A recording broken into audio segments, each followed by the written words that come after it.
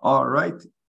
Good morning, good afternoon, good evening, folks, uh, and thank you for attending this session on what's new in HANA 2 SPS 07. Today's topic is the topic of administration and monitoring. My name is Jose Ramos. I'm a member of the SAP HANA product management team, and along with my colleagues Amy, Dan, and Chaitya, we'll be presenting the content today on this specific topic.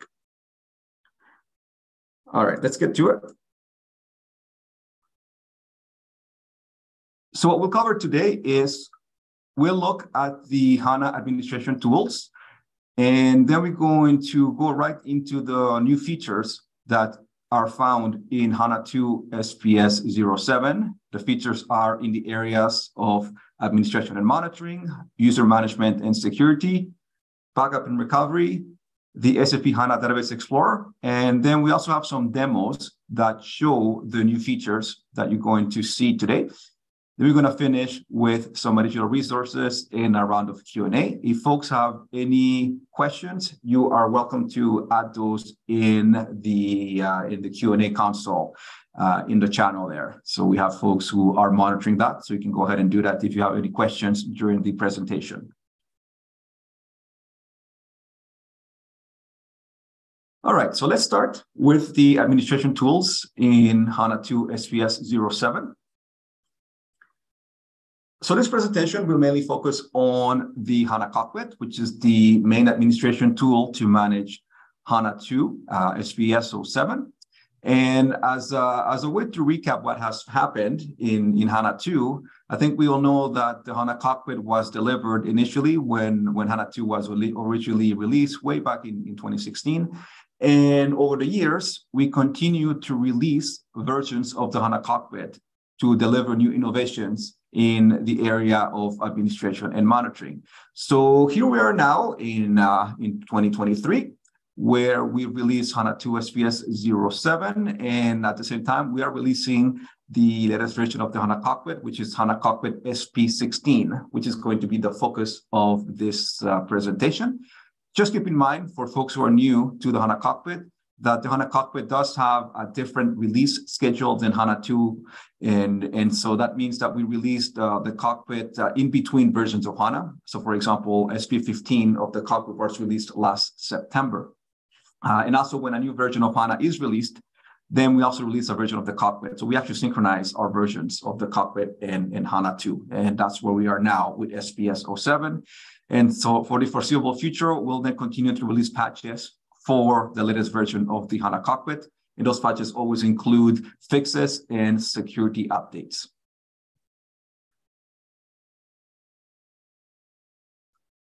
And also along the uh, along the new innovations or the, the release uh, schedule we have for the HANA cockpit, as you can see here, at least in the past few versions of the cockpit, we continue to do a lot of investment in the technology. We continue to release a lot of new features, as you can see from this list. And for SP16, uh, that is no different. Okay. For folks who are upgrading from HANA 2 SPS 06, to SPS 07. Uh, you may not have installed the, uh, the version of the cockpit that came in between those two versions, which was cockpit SPS 15.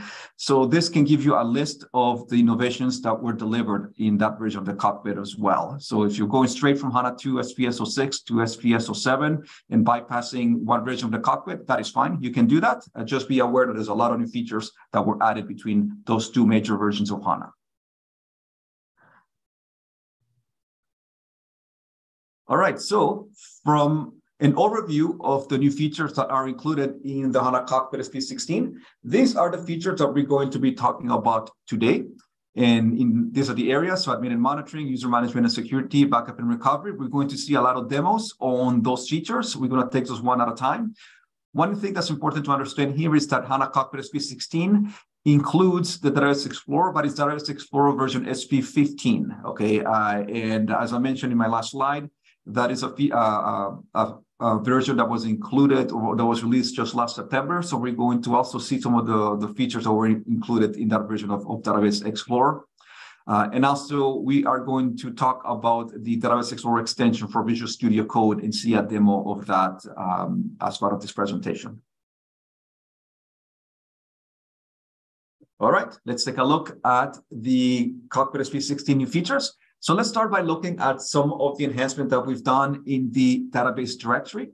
So in the database directory, now you can filter the alerts by all priorities. In the past, you can only see high and medium priority alerts. We had requests from customers asking that they like to see all of the priorities just to make management of uh, a large landscape or large deployment easier so that you don't need to go into the, the individual database to see information in, in, in low priority type of uh, alerts. So now you can all see them in, in one spot, which is the database directory. So, so this definitely does improve the workflow because, as I mentioned, you need to navigate to individual databases overview page to see those. And then what happens is in the drop-down box at the top of the database directory, then now you see the, the, the all the priorities displayed. Uh, and also we added a couple of new icons in the uh, in the alerts column, so you can see low and information priority um, alerts there as well. So now you see them all, in, in, and you can you can use the database directory uh, uh, as as a way to see all the alerts at a, at a single glance for your entire HANA deployment. When it comes to workload class mappings, we have a couple of improvements in here. One of them is that we've added, or, or HANA actually, HANA Server added a new session variable that is called the application source.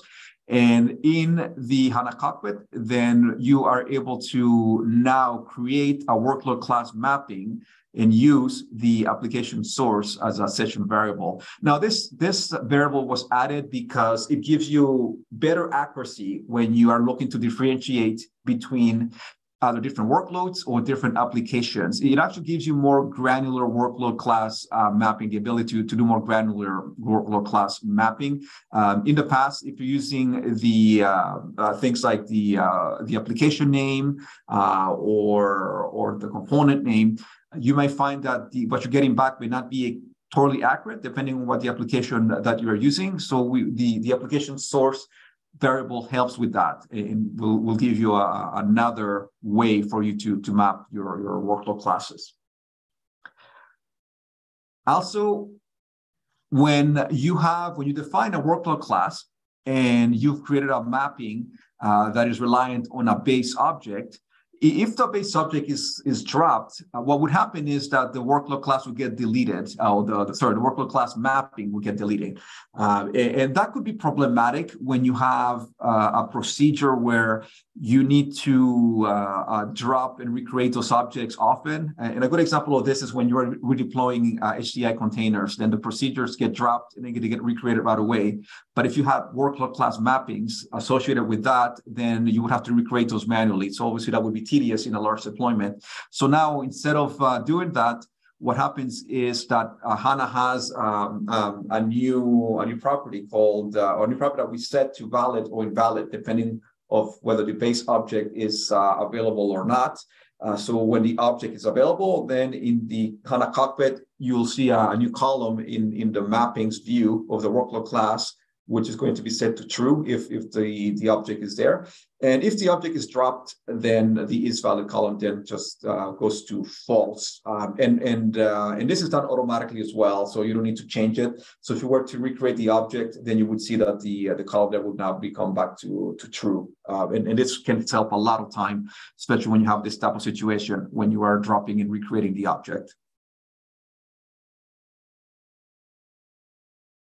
Looking at some NSE enhancements, the monitor buffer cache now has a new uh, uh, a new metric uh, that's called the IO read size that is displayed in, in the buffer cache monitor, and this can help you to identify the amount of uh, I/O that is spent in the uh, the, the NSE buffer cache.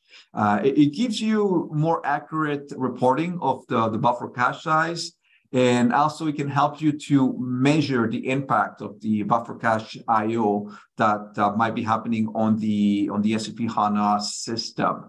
So if you have a problematic NSE object, then you can use this to troubleshoot. In the buffer cache monitor, then you now see a new column called IO read size, and uh, and, that, and also in the buffer cache history graph at, at the bottom of this application, then there's a new metric that is displayed in the uh, the time chart as well for the uh, the IO read size.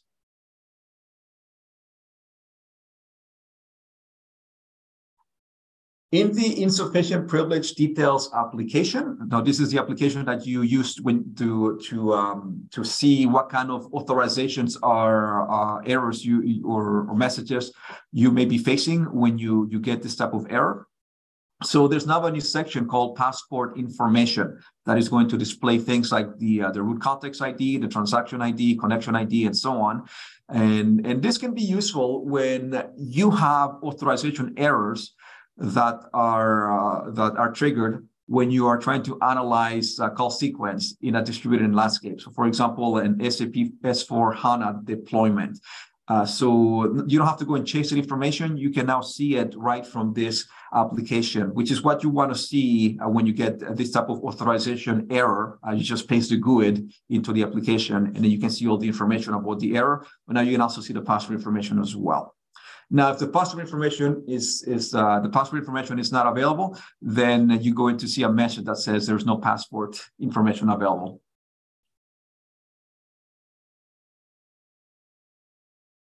When you now create full HANA full, full system information dumps, so the, the dump files, then a new option is available to collect the memory, manage, memory manager diagnostic information when you when you collect the uh, the SFID files.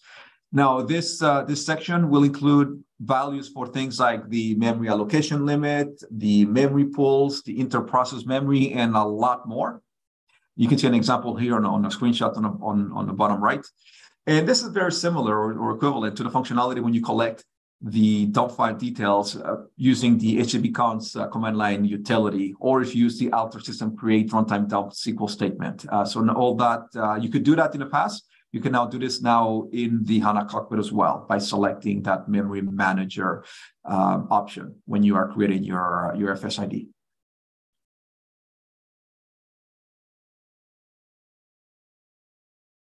All right, moving along to uh, user to continue with some security new features.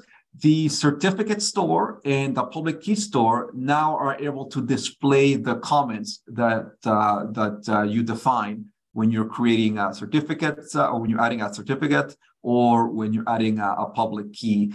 Uh, so now in those respective applications, we have options here to that you can uh, the, where you can see the comment and also you can edit the comment as well and change that. Uh, so just a little bit more uh, uh, or a usability type of of new new feature um, that allows you to um, manage the comments as well, which can be very important, especially when uh, you want to document why uh, you've chosen to make a change or if you added a new uh, a new object in uh, in your deployment.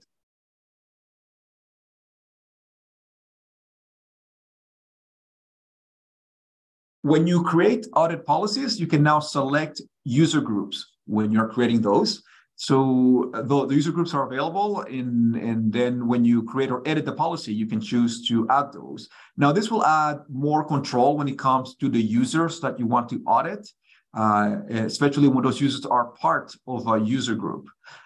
Now, in the dialogues, you can see that uh, we, we've added the ability for you to, to add uh, or, or add uh, user groups to the, the uh, audit policies. And it's important to understand that you can select to add both users and user groups at the same time for inclusion of a policy or for exclusion uh, in a policy. But be aware that you cannot add one type, for example, the users for inclusion, and then the other type, the user groups for exclusion at the same time. So it's got to be uh, both for inclusion or both for exclusion.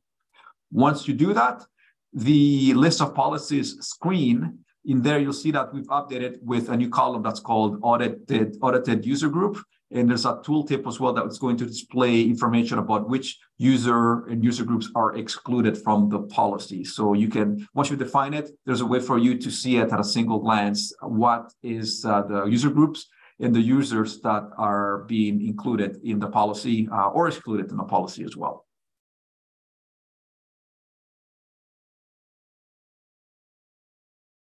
Now, when you configure the audit log table, you can set it to use page or columns as loadable units. So in essence, what, what this feature is doing is that we are leveraging the NSE feature in the auditing functionality.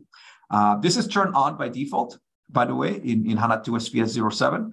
And what you can do is you can set the load unit for the audit log table to be page, again, as a default, or column if you want to disable um, NSE there. And, and this provides you with a cost effective method to save memory space because all the old audit log entries can be now kept on disk as opposed to having them loaded into memory. Uh, so this can save some memory, um, eh, especially if, if you have uh, a very large uh, log table for your auditing. You can just keep that on disk by taking advantage of, of NSE.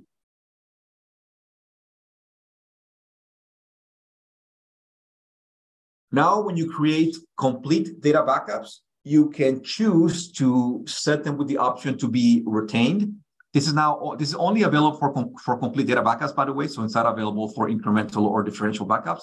Uh, but once you set a complete data backup to be retained, then this is going to ensure that the backup cannot be deleted either by the backup catalog delete command or by any scheduled housekeeping task. For example, if you set up a backup retention type of policy. So this helps you with the data recovery process because it's going to allow you as the operator or the database administrator to preserve your data backup uh, as a snapshot of a particular point in time without having the risk of uh, deleting the backup accidentally or, or through uh, human error. And, and so uh, whenever you try to delete a retained backup, you're actually going to see a message, uh, an error message that tells you that it cannot be deleted. And this option is also now available when you create your backup in the create backup dialog and also in the backup catalog app because you can choose or you can select to um, enable or disable the uh, the option. Um, how does that look like? Looks like this. So this is when once you once you created the backup, then you can choose to enable or disable the uh, the setting by just editing or looking at the, the details of that backup. And we have a button on the top right that allows you to do that.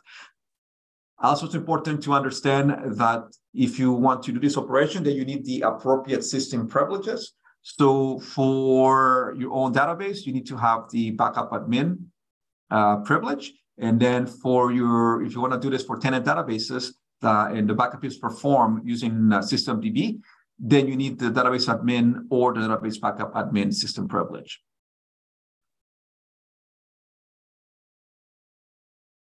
All right, so that's that's was that was a description of the new features that you can expect to see in HANA Cockpit SP16. Uh, be aware that for all those new features to work, you do need uh, an SAP HANA 2.0 SPS 07 uh, database uh, uh, that, that is managed in the cockpit. If you have earlier versions of HANA, uh, then you likely will not see those features in the cockpit just because they're not available on the server. So just be aware of that. So at this point, we have a number of, uh, of demos to show you of the new features. So I'm going to now turn it over to my colleague, Amy, to do the demonstration. Thank you, Jose. And let me share my screen. Okay. So hi, my name is Amy from the SAP HANA product management team. And today I will be demonstrating some new features in SAP HANA Cockpit SP16. So the first video I'm gonna take a look at is the enhancements alert filtering in the database directory. So in the versions, the database directory was only showing the high and the medium priority alerts. So, and, sorry, so, sorry, me. Um, are you sharing? Because the screen is blank at this point. It says I start sharing this the screen, but uh, there's no There's nothing that is displayed.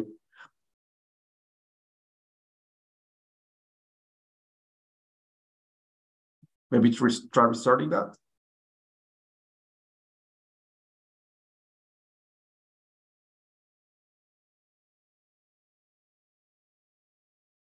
Who did, uh, did we lose Amy?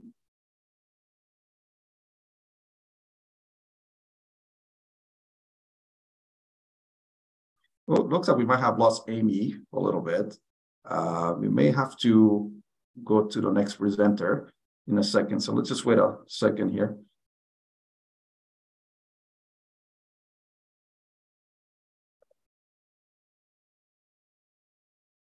All right, looks like Amy's coming back here.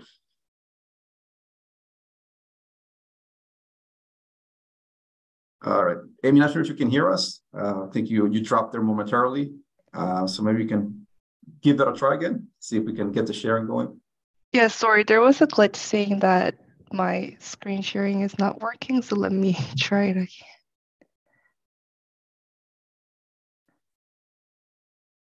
Can you guys see my screen? It says that it's starting sharing. Uh, yep, we can see your screen now. Thank you.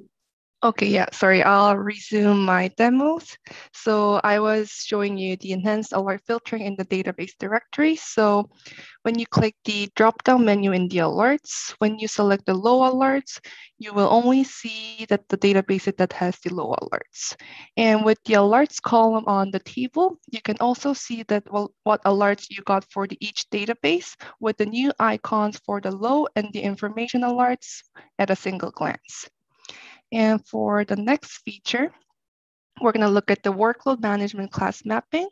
So when we create a workload mapping, under the mapping details, the new variable called application source now has been added, and this helps to work map the workload class more effectively. And you can use this with the equals or begins with and with the given wildcard. And when we have the workload class mappings, you will now see the new column called is valid is now has been added on the table. In this mapping, we have a mapping with the object called WC base object, and the is valid column is true since the object exists. So if I open up the SQL console and drop this object and refresh the page, I should now then be able to see that the column is valid will change to false. And this feature is useful for the HANA deployment infrastructure as mentioned in the slide, because you don't want the mappings to disappear when you redeploy those HDI, HDI containers. And as you can see on the table that the is valid column now has been changed to false since the base object's been removed. And this will be revalidated once the object is recreated. And the next feature that we're going to take a look at is the adding the comments to the public key store and the certificate store. And this is a small enhancement, but it's useful feature for the security admins to leave some notes for the another. So I have the certificate store app open and on the header section, I do now see that edit comment button has been added. And if I click this, I can add any comments that I, I would like to. And same thing goes for the public key store. You will now see that the comment column has been added. And by clicking this change button, you will add, be able to add any, any comments that you want to. And now that we've looked at the public key and the certificate store, we also have some enhancements on the auditing app. So when we go into the create audit policy, and I will quickly go through step one and two. Click all actions for now. And in step three, we're now possible to select one or more users or user groups for the audit policy. So that means you can include or exclude specific users in or in the user group. And you could also select both of the groups and the user groups to be included or the excluded. And as we mentioned, you cannot select one type to be included and the other type to be excluded at the same time. And this same feature will also be available when you edit the audit policy as well. And when we move on to the audit, audit trail tab, you can now configure the audit log table to use the page or or columns as the loadable units, which is effectively using the SAP HANA native storage extension in the auditing functionality. And by default, we're using the native storage extension, the page unit for the audit log table. And in the slides, we also did see that for the HANA native storage extension, the IO volume is now supported for the buffer cache monitor, so I will open up the buffer cache monitor app. And on the buffer cache size and the buffer cache history graph, we now see that the new metric called IO read size has been added. And this helps in measuring the buffer cache IO impact on the SAP HANA system, and this can be used to troubleshoot any problematic NSE objects. And for the next feature, I would like to introduce you with the passport information in the insufficient privilege details application. So in here, I do need to enter the GUID to see the details of the authorization error that I got. So on the SQL console, I do have a simple statement to run and get the GUID for the error. So let me just copy and paste this GUID to the application. And now, along with the details to the problem, the new section called password information has been added and it displays the root context ID, transaction ID, connection ID, and much more information.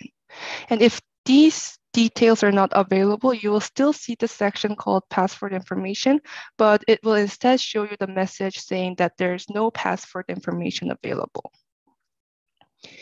And now we will now look at the retaining the completing backup. So I will open up the backup catalog app to show you the new retained feature. So on the top right, you will see the create backup button. And when you click this, you will notice that the retained option now has been added.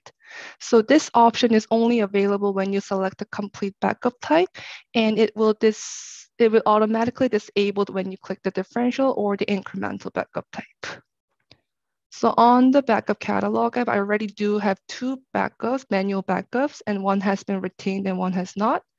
So you will notice that for the retained backups, if I try to click a delete button, it will give me a pop-up message saying that the retained backups cannot be deleted.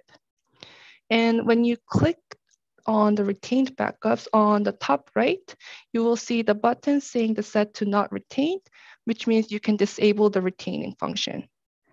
And the same thing goes for the not retained backups.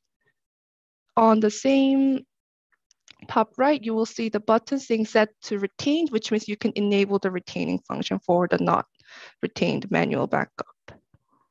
And for the last feature, I would like to do a demonstration for the memory manager details on the full system information dumps.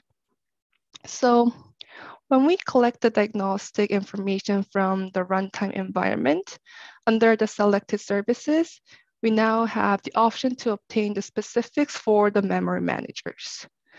So I do have some collections that I have for the by only selecting the memory manager details.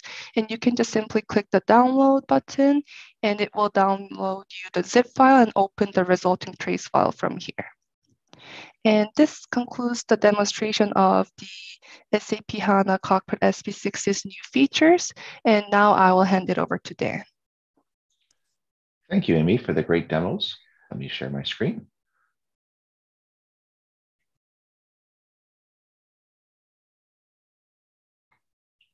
Okay, so my name is Dan Van Leeuwen, and today we'll be discussing some of the recent new updates to the SAP HANA Database Explorer.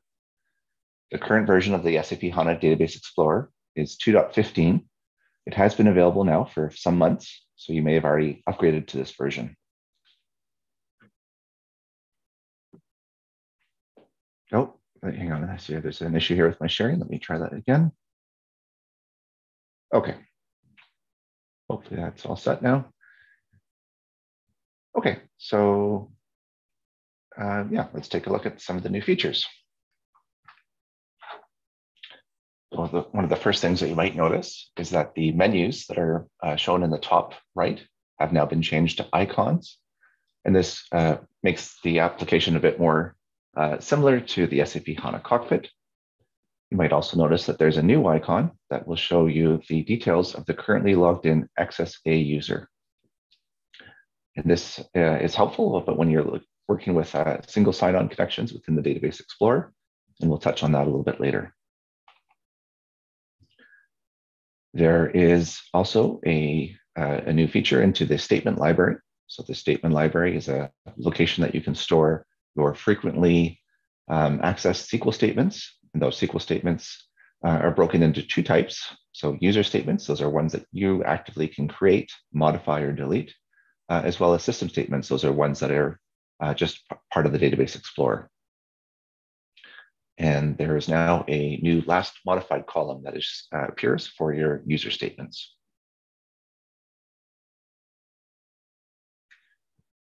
There is also a, um, a new icon in the catalog browser that allows you to multi-select multiple database instances that you have within the Database Explorer.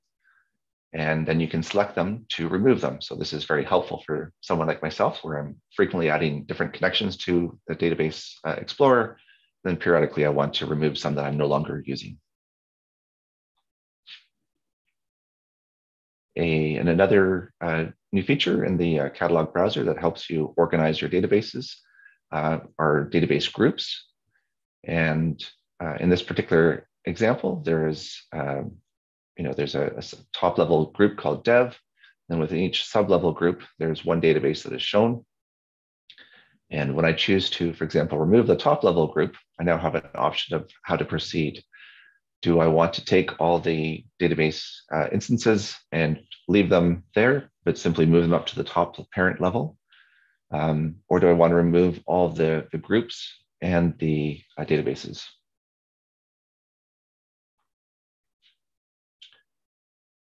Within the SQL console, there's the, uh, option, the option to run a SQL statement. Um, if you choose to run a statement as a background activity, for example, um, you might want to do that for a long running uh, SQL statement, or you might wish to choose to run a statement across multiple databases.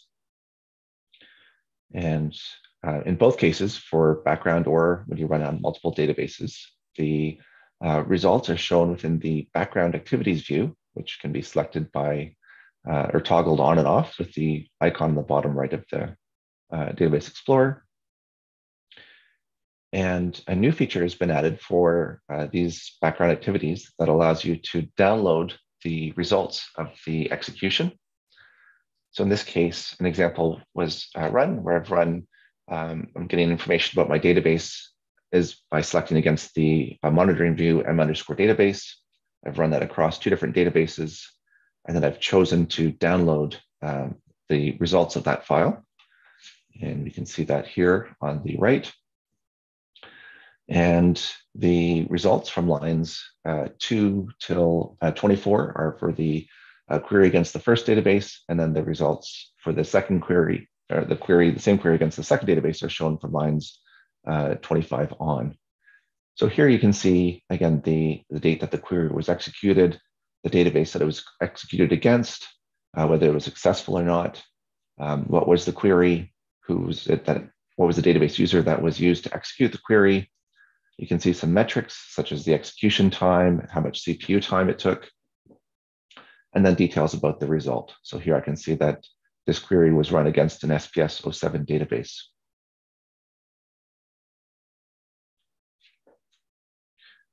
Within the SQL console, there are different built-in viewers depending on the, the data that you're trying to view. So there is a built-in viewer for HTML, for XML, for JSON.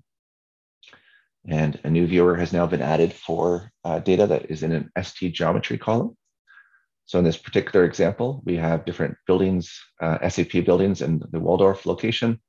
Um, and in the shape column, they have uh, just different uh, sort of a visualization of what that outline of that building is. So if you right click on, uh, again, an ST geometry column, you can then view the, the data contained within it.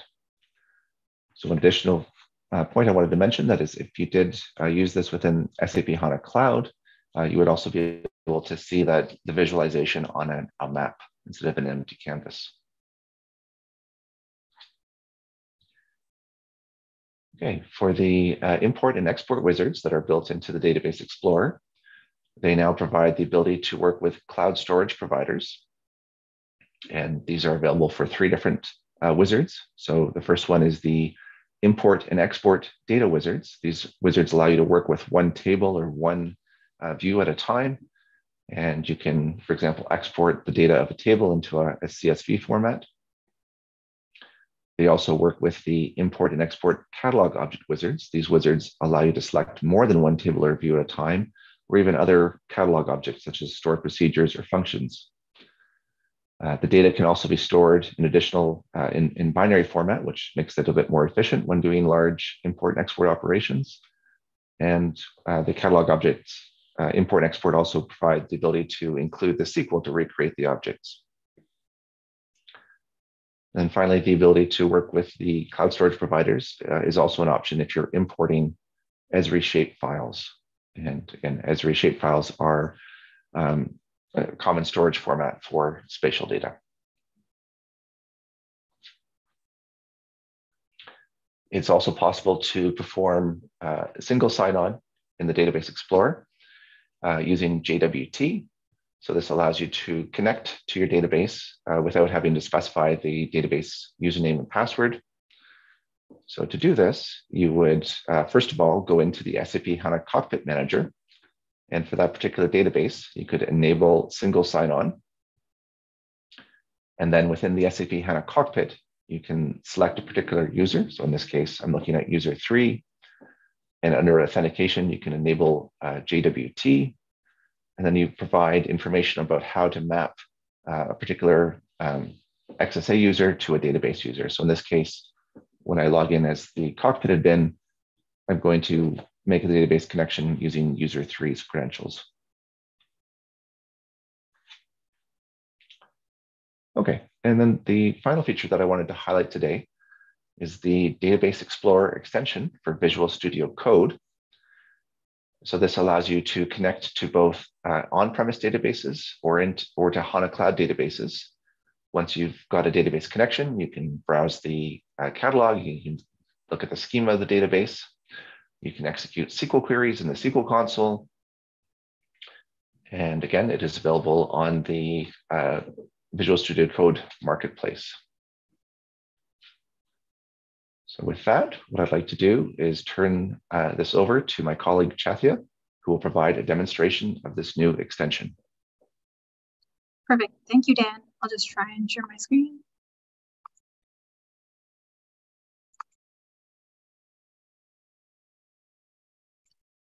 All right, hopefully you can see that. So I'm just gonna go over and go to the extension marketplace. So I have VS Code open right now. And I'm gonna enter in Database Explorer. And we'll see the extension pop up. And I'm just gonna hit install on this. So the purpose of using this extension is that since many of you do use uh, VS Code on a daily basis, it makes the functionality of Database Explorer more easily accessible to you. Although it is good to use the web application for more complex things like debugging, uh, but this is here for you to use. And now that it's installed, we can see this icon pop up over here on the left in our activity bar. And I'm just going to click on that to open up the extension. And we can close this over here. So the first thing that we're going to do is add a new database connection. We're going to add it locally. So in this form, we have to select the database type. So we can add an SAP HANA Cloud, connect SAP HANA, or an SAP HANA user store, which would basically uh, retrieve saved credentials and fill out your form automatically. But we're just going to go ahead and connect to SAP HANA on-prem. And I'm going to enter in the host and the port number over here. And I'm going to connect to a tenant database and enter in some user credentials. And I'm going to hit save password over here. If you don't click save password every time you open a new SQL console, you'll be prompted to enter in your password, but I'm just going to save it so we don't have to do that. And here I'm going to enter in um, some advanced options to set my current schema as hotel since that's what we'll be working in. And I can change the display name over here. Um, we're going to enter an SP7. So this will kind of change uh, what you see in your connection list. So I'm just going to add the database here. And we can see the connection has been added, added successfully. So I'll just close that. And here in our database list, we have our database up here. And if we click on this uh, database, you'll see that the catalog is expanded with all its objects. And to exemplify, I'm just going to click on tables here. And as we can see, the catalog browser is currently filtered by the hotel schema as I've added it in the advanced options during the connection. If I wanted to change what I see in the tables, uh, I would be able to filter and select more of these or select you know, less of them. But we're just going to go ahead and stick with the hotel schema and you can click OK to apply your filters. So now moving on with the demo, I'm going to go ahead and open a new SQL console. And we'll see our SQL console pop up. And there are some run options here, some analyze options here. But what I'm going to do is open up a SQL file from my computer. Open that up. And it will be imported here. And I'm just going to run this and then walk you through what I have. So the first line was to just select the current schema to show that I am indeed in the hotel schema, which is why I don't have to name the hotel as an identifier when selecting certain tables within it. The second result shows you the customer table. And as you can see, there are 15 entries in this table um, before I executed the next statement. So after that, I inserted an entry into this table, which I can see in result three is in here now with the 16th entry. Uh, looking at some of the other tabs in this section, we have messages. So messages shows you the statements that I ran with some information such as the elapsed time or the memory that was consumed. And then we can click on history. And again, it will show you a list of the statements that I ran along with whether they were successful or not. And something cool about this is if I go over here in the new line, and I want to, if I want to just copy and paste one of these statements and reuse them, I can just click on the statement and it will enter it into my console for me. So that's the basic functionality of this extension. Uh, there are a few things that are useful about VS Code itself uh, and the function, the features in there to use. So if we open up the terminal, for example, we can access local files. If you have Git integrated, you can use that along with the extension. And using these toggle panels over here just makes it easy to organize uh, your workspace. And additionally, if some of you like to use a split screen and you want to use one side as a reference, you can just drag over files as well and split screen your editors. So yeah, that concludes this quick demo on the SAP HANA Database Explorer Visual Studio Code extension. I'm just going to pass this back over to Jose to conclude. Thank you. All right, that sounded great. Thank you very much, uh, Chaitya. It was a great demo. And now I'm going to take over the slides again. Uh, so let's uh, go over here.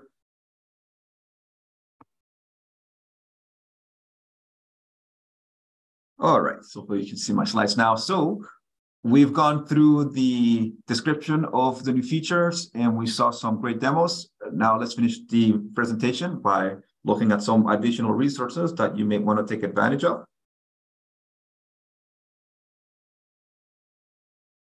So the SAP Help Portal, which is the access where you can find the documentation or the user assistance for the HANA Cockpit or Database Explorer for HANA in general as well. We have a number of links here that you can take a look at where you see information about the cockpit. There's the admin guide.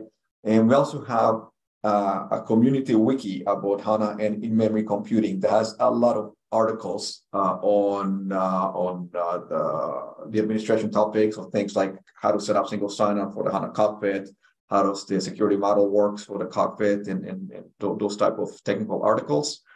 Uh, we have a couple of blog entries that we want to highlight over here. Uh, as I mentioned at the beginning of the presentation, uh, you may have skipped one version of the cockpit um, that was released uh, between uh, version of HANA 2 SPS 07 and, and SPS 06. Uh, so if you want to take a look at the innovations in the cockpit SP15, which also includes Database Explorer SP15, then there's a blog posting in there about that. Then if you want to read up more about what you saw today, then we do also have a blog post on uh, what's new in, in HANA 2 SPS 07, so the HANA Cockpit SP16, which pretty much covers what we saw today. Uh, this blog uh, entry was posted earlier uh, today as well. And if you want to take a look at uh, or go through a tutorial on the uh, the Visual Studio um, Database Explorer extension that you just saw, then there's a link here for the tutorial.